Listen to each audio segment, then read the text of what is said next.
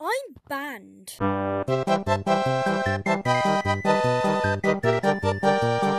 Now you might be wondering, why the hell am I banned?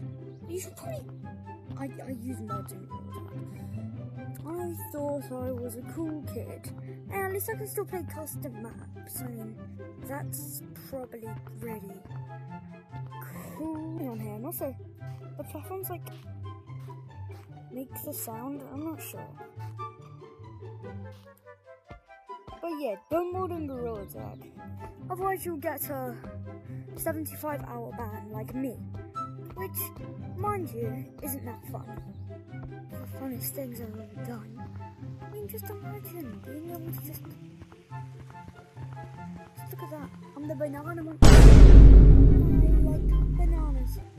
But yeah, it's pretty cool just being able to. Well, some, maybe even a rainbow.